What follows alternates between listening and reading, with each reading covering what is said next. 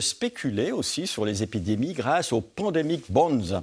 Ce sont des obligations émises par la Banque mondiale pour financer des, mesures dans les pays pauvres.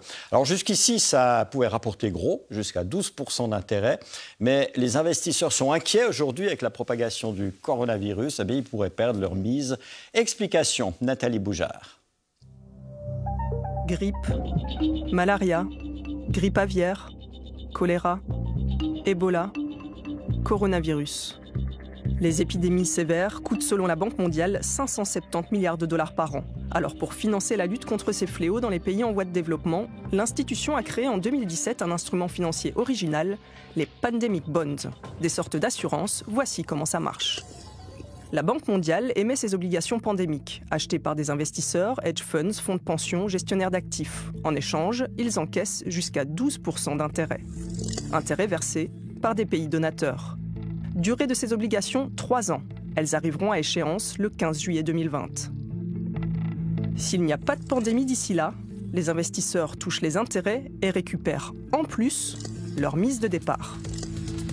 S'il y a une pandémie, le versement des intérêts est stoppé et l'investisseur perd sa mise de départ qui sera reversée en partie aux pays qui en font la demande. Pour ce professeur de finance, ces pandemic bonds sont un outil intéressant.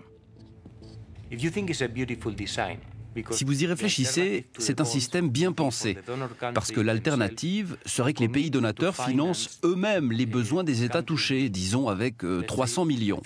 Au lieu de ça, ce sont des investisseurs qui fournissent ces 300 millions parce qu'ils touchent des intérêts payés par les pays donateurs.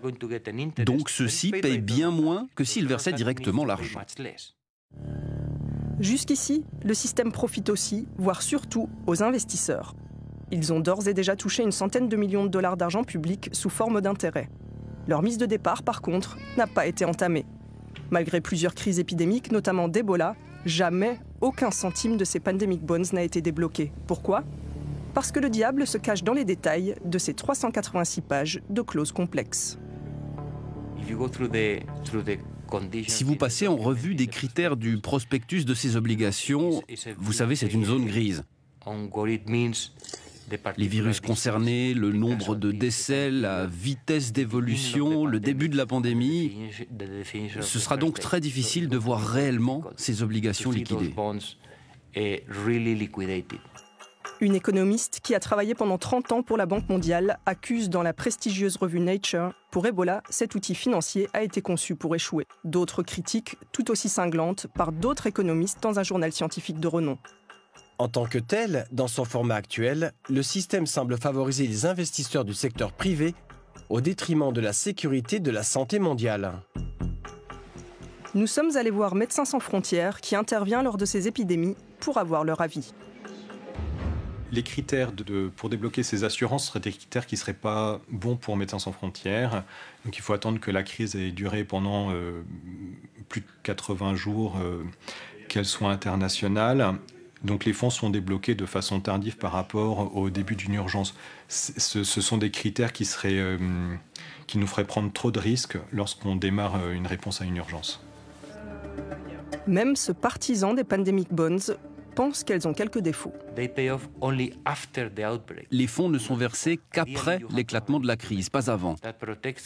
Idéalement, il faudrait un instrument qui protège les pays et les aide à prévenir les pandémies plutôt que de les aider à payer pour les dégâts quand les personnes commencent à mourir.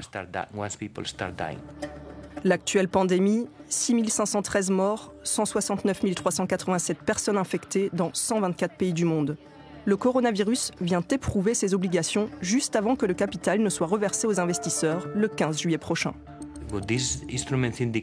Ce que cet instrument financier montre, c'est que déjà en 2017, il y avait des spécialistes qui ont établi qu'une épidémie de coronavirus était probable. Donc, premièrement, ils avaient connaissance du virus, et deuxièmement, ils ont considéré déjà à ce moment-là qu'une épidémie était probable. Ce qui est aussi surprenant, c'est que ces obligations arriveront à maturité en juillet 2020. C'est comme si quelqu'un avait eu une fabuleuse vision en émettant ces outils financiers. Ces obligations pandémiques pourraient être libérées aux alentours du 23 mars. Peut-être, en partie, pour la première fois de leur existence.